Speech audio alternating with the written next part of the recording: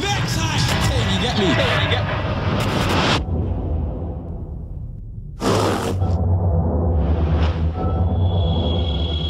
Bismillah ar-Rahman ar-Rahim.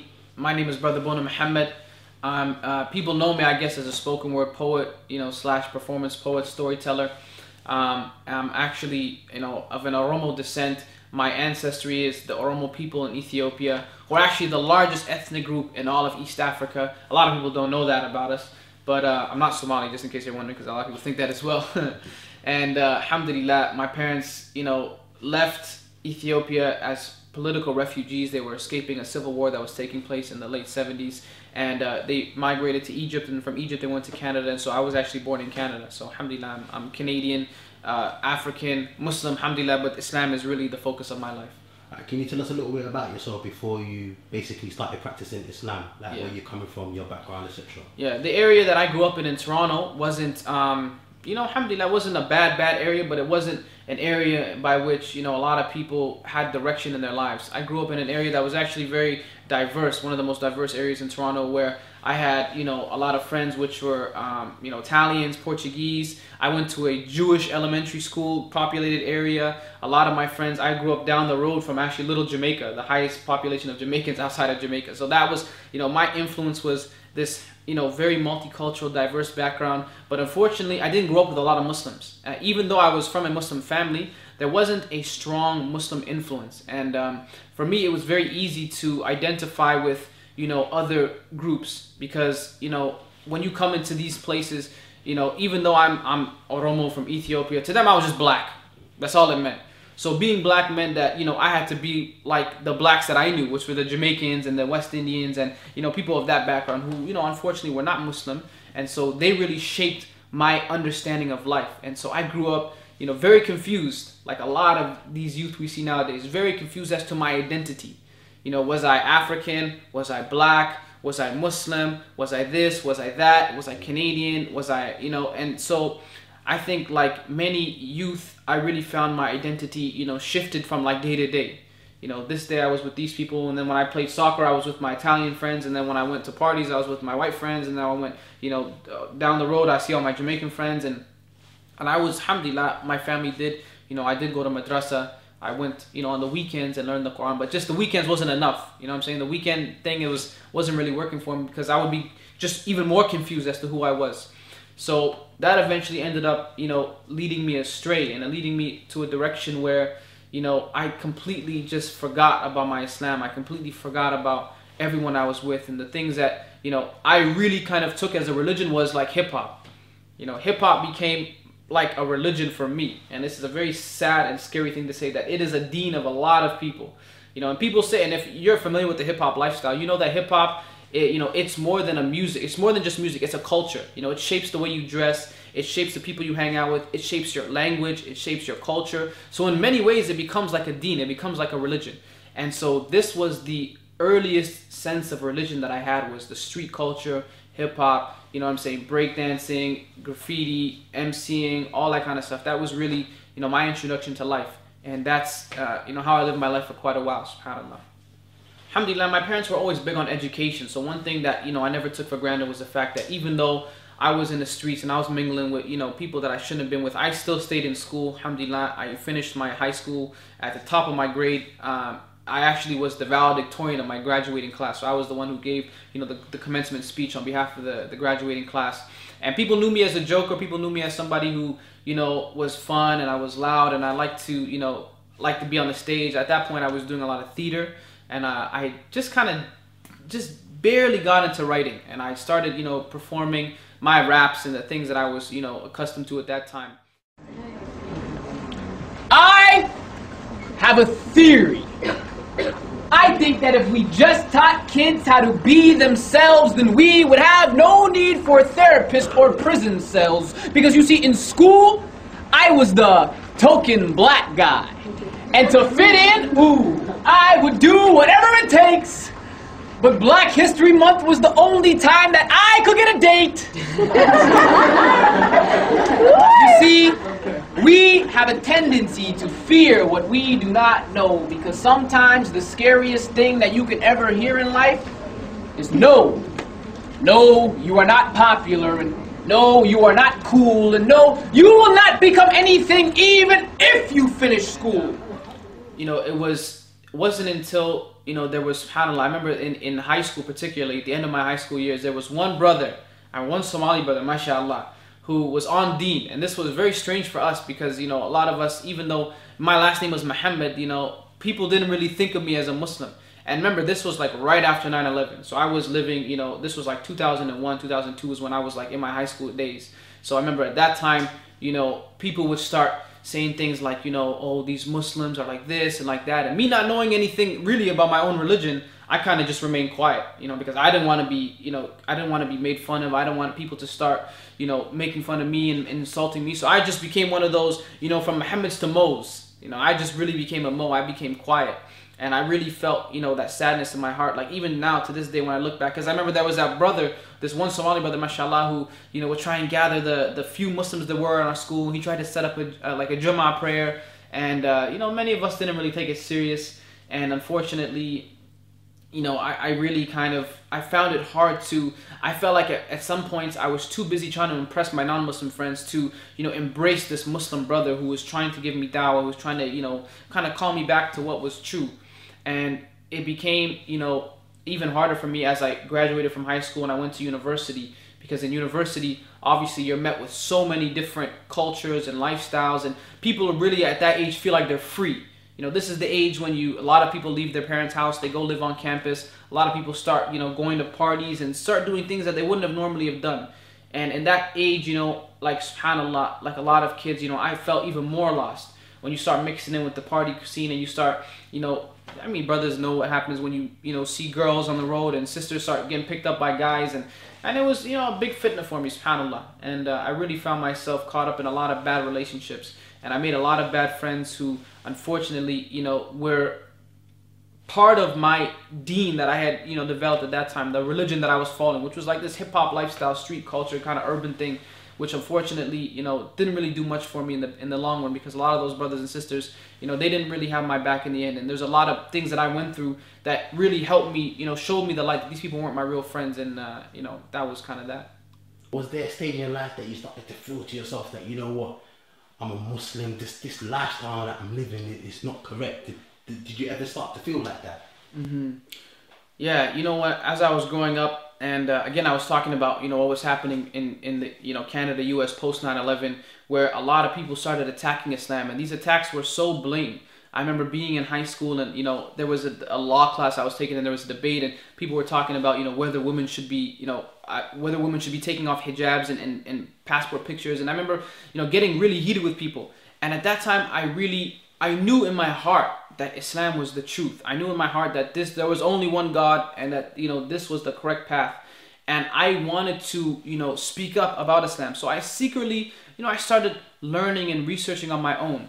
And even though I wasn't confident enough to come out and start, you know, uh, battling people or telling people off, like I just needed to, to learn enough that I could be basically in a private conversation explain to somebody that look, this is actually not what Islam says. You know, Islam is like this, Islam is like that. And I remember, I'll tell you one story, panel that really I remember was a big change point in my life. Because even though at that point in my life I started identifying more as a Muslim, post 9/11, if your last name was Muhammad, khalas, you're a Muslim. It didn't even matter if you're practicing, you weren't practicing, right? But I remember one time, subhanallah, I was with some guys. There were some some guys that I used to hang out with, and um, you know, at that time, you know, I'm ashamed to say, but like I used to, you know, I used to indulge in certain activities, you know, whether it be partying, you know, the type of lifestyle that comes with partying, the type of things people do, extracurricular stuff people do. And I remember I was, you know, doing this particular thing, and a, and a, you know, a guy asked me, he's like, you know, Muhammad, yeah, you, you're a Muslim, and I was like, yeah, yeah, I'm a Muslim, and he's like, but Muslims don't do this.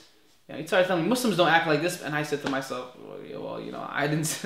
I was just embarrassed. Subhanallah, I was really embarrassed for a non-Muslim to tell me that you know I shouldn't be partying and I shouldn't be out and I shouldn't be doing this. It really was a blow to my ego because you know I felt like even this person knew that Islam did not condone my behavior. So you know if this was correct, then what type of person was I? And a lot of times when the truth comes our way, you know, as Muslims, sometimes we take offense to it. When somebody might give you advice or somebody might say to you, you know, brother, you know, fear Allah, brother, sister, you know, you shouldn't be doing this. sometimes our own nafs, our own egos will take the best of us and we'll not take that advice sincerely and instead we'll just take it as a personal attack. And I felt like the Muslims that I knew that were around me were just like that. You know, they were Muslims that would attack you. And I remember I hated going to the masjid because the masjid that I went to, that them times I used to braid my hair. And them times I used to have long hair. I know you, you don't probably don't believe it now, but that time I used to have long, long, long hair. And I used to braid my hair. And I used to come to the masjid like for Jummah or, you know, for Eid and stuff like that. And the way the uncles used to stare at me, the way everybody used to look at me like, you know, look at this brother. Why does he look like that? He looks like a kafir. And I say, yo, bun you guys, I don't want to come in this building. You know what I'm saying? I don't want to be around people who are gonna treat me and look at me a certain way and they're not gonna, you know, give me the respect as a Muslim. And so that was enough incentive for me to stay away from the masajid, to stay away from the house of Allah. And this is the type of dawah people were giving back then. And you still see it to this day. You know, you might see a sister walk in the masjid without a hijab and you say, oh, sister, what is she doing in here? How could she come in here looking like that? And you think to yourself, subhanAllah, is the masjid not the place for the sick people to go to? Is the masjid not the place? Is is you know are these not the hubs where people whose hearts are away from Allah and that they should be getting closer to Him? And so you know I really I, identified as a Muslim, but I hated Muslims. I loved Islam, but I, I really was not fond of the Muslims themselves. And alhamdulillah, you know, I really took the time out on my own to try and learn Islam, you know, free of cultural interpretations, free of people's own, you know, understandings and misinterpretations misinterpretations of the deen and I tried my best to, you know, actually read the Quran. A lot of us, you know, in our lifetime, I think very few people have actually read the entire Quran, even in your own language, in English, from front to back. Very few people have actually read the entire book. And so I took it upon myself, you know, one year that I said to myself, you know what? In this Ramadan, it was in a month of Ramadan. It was the beginning of Ramadan. And I, I really said to myself, you know what, once one year, I'm to actually, you know, learn to pray. Because, I mean, first of all, I didn't know how to pray. As a Muslim, you'd be going to the masjid, you know, you'd be going for a salah, and then you say Allahu Akbar, and you go down, and you just, you know, just feel like you're just a robot. You don't really know what you're doing. And so, I really had this connection that was lost, subhanAllah. You know, this was one thing in my life that was missing. And, and you know, a person who prayed and then hasn't prayed will know this feeling. You know, because the salah becomes something which is like, you know, your heartbeat and imagine I just I felt that need to get closer to Allah subhanahu. I didn't know how. I didn't even know where to begin. I didn't know which books to read. I didn't and and it was really sad too. I know I'm rambling, but you know the brothers that I knew to be practicing, the people that I knew to be like good Muslims, to me they were just nerds. Like I couldn't, you know what I'm saying? I couldn't really sit with them. I couldn't. They didn't look like me. They didn't talk like me. They didn't understand where I was coming from. They didn't see the lifestyle that I lived before to understand the scrub, the struggles that I was going through. Even for someone like me to pray or to fast, it was a big deal you know, to drop everything you were doing. And that's why I said like I felt like a revert because I really was coming from a very, very far distance from the deen. And the people around me were not very supportive. And it had a lot to do with my friends because the people, I mean, my non-Muslim friends, they couldn't care less. They thought it was strange that I, you know, didn't want to smoke or I didn't want to drink or anything. They thought I was uh, something wrong with me. And then the Muslim people that I was trying to connect with, you know, they thought I was, you know, I looked strange because I had braids in my hair and they thought that, you know, my pants were a certain level and my, my pants were too saggy so they couldn't really check me either. And it just became a big fitna for me. But, you know, alhamdulillah, slowly and surely I started coming closer in my own way you know, one year in the month of Ramadan, I, I really tried to commit myself to, you know, making this Ramadan the best one possible. And for me, that really involved, you know, first of all, learning how to pray because I didn't know how to pray correctly. And, uh, you know, it's a shame too because you're a Muslim your whole life, but you don't know the basics. There's a lot of things that I didn't know. I didn't know how to pray. I didn't really know how to fast. I didn't really know, you know, the basic fundamental pillars of Islam. So that year, I remember one of my cousins, he sent around a video just like for people that, you know, he thought might need it. And it was just like a guide to pray. So I said, okay, alhamdulillah, let me watch this video. I remember studying it like it was an exam, you know. Okay, he goes up, he says, Sami Allahu lima. And just knowing these things and from my childhood, but just trying to refresh my memory. So alhamdulillah, you know, I, I tried my best in that month to fast and, you know, an actual fast. A fast which was not just a restraining from food, but it was restraining from, you know, from idle talk. It was restraining from looking at things I shouldn't be looking at. It was restraining from, you know, you know, doing all the things which you shouldn't be doing. And I remember that month, you know, I had an iPod, I gave it away. You know, you have a girlfriend, you dump your girlfriend. You know, this is the month where, mashallah, you're going hard. You know what I'm saying? You're trying to put everything aside for the sake of Allah subhanahu wa ta'ala. And that month, you know, really did a lot for my life because I remember that's the month when I really established my salah. And I, you know, alhamdulillah, I don't think to that from that day till now I've ever missed a salah. So that was like a big, you know, a big, big positive for me, and it really helped impact my life. And at, after that point, you know, it became so much easier, subhanAllah. They always say that the signs of an accepted Ramadan is when you continue the things you were doing in the month of Ramadan. And for me, it was, you know, a huge changing point in my life. And I almost felt like this huge burden had been lifted off my shoulders. Because at that point, I remember I wasn't, I was living on my own. I wasn't living with my parents. I was, you know, I was just really, really frustrated and, and my heart just felt really, really sick.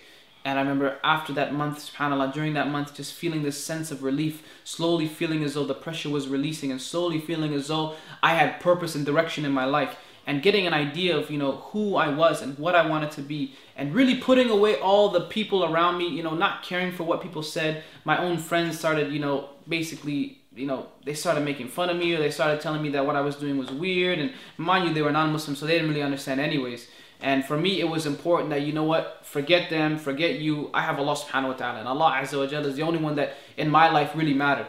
And for me, that was a big turning point in my life because, you know, that month of Ramadan particularly was a time when I decided to change my, my life around. And, you know, to this day, alhamdulillah, it's, you know, been similarly put on the same path. But this world is full of signs from the moon to the stars in the sky, from the bees and the bugs, like a seed in your blood, like a fiend or a drug, makes you need to look up and question what's up, why you deal with this stuff. When your spirits are crushed and you trek through the rough, but like thunder it struck, said be and it was. All the signs that were sent, they finally make sense. You feel the torment, so you need to repent. When your heart is cemented, hard as a brick, because your soul is worth more than the dollars and cents. All the money in the world couldn't buy you happiness, because verily it is in the remembrance of Allah that hearts do find rest. What is it like now practicing the deen? Are you better now or were you better off before?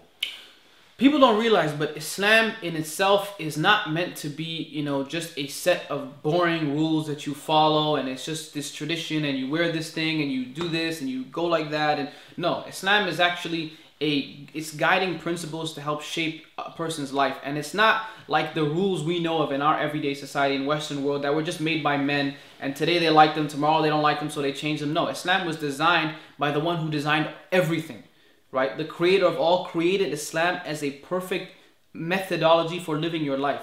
So, wallahi, this deen for me has been just that. You know, and I always say this statement, people don't understand me, but I'm not a religious person. I'm very rational in my thinking. And for me, Islam is the rational choice. Because you understand, you know, that, okay, you know, we shouldn't drink uh, alcohol because A, B, and C. We shouldn't eat pork because A, B, C. You know, we shouldn't be doing this because of that. And every rule, alhamdulillah, we can come up with rule. We can come up with reasons why you shouldn't be doing it. But the real reason why we live the way we live is because Allah subhanahu wa ta'ala has asked us to. That's it. That's what it comes down to. You know, the little bit of knowledge that I have now tells me that I should be accepting and understanding the things that I don't understand.